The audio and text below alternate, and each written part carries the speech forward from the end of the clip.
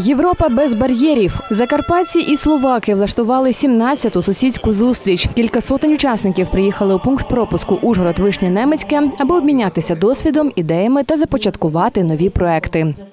Незважаючи ні на що, ми маємо дружити кордонами без політики і владних структур, аби прості люди зі Словаччини та України могли прийти на допомогу у нелегкі часи та підтримати один одного.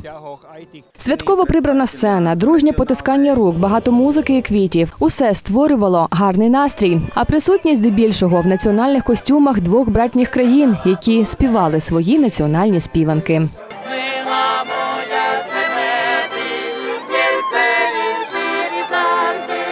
Добрий сусід то таке як брат. І маючи добрих сусідів, поважаючи їх, вони поважають нас.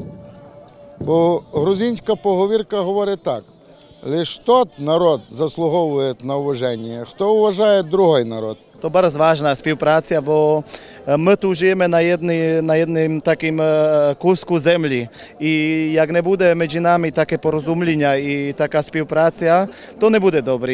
Widzimy, jak nie jest współpracy, nie jest porozumienia, jest wojny, jest e, konfliktów świecie. A tak e, trzeba дружитися, треба upoznawać.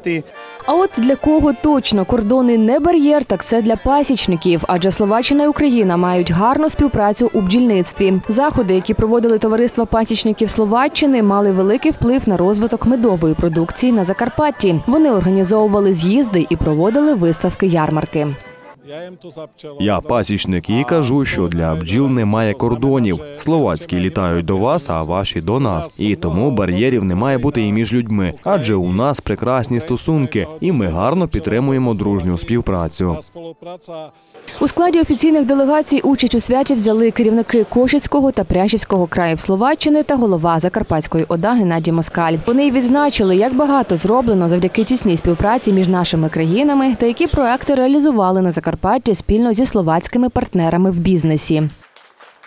З усіма чотирма сусідами ми проводимо такі дні, що дає і поштовх до розвитку е, добросусідських відносин, економічних, транскордонних, культурних, е, людських. Сусід з сусідом має жити в мирі, в дружбі, в злагоді.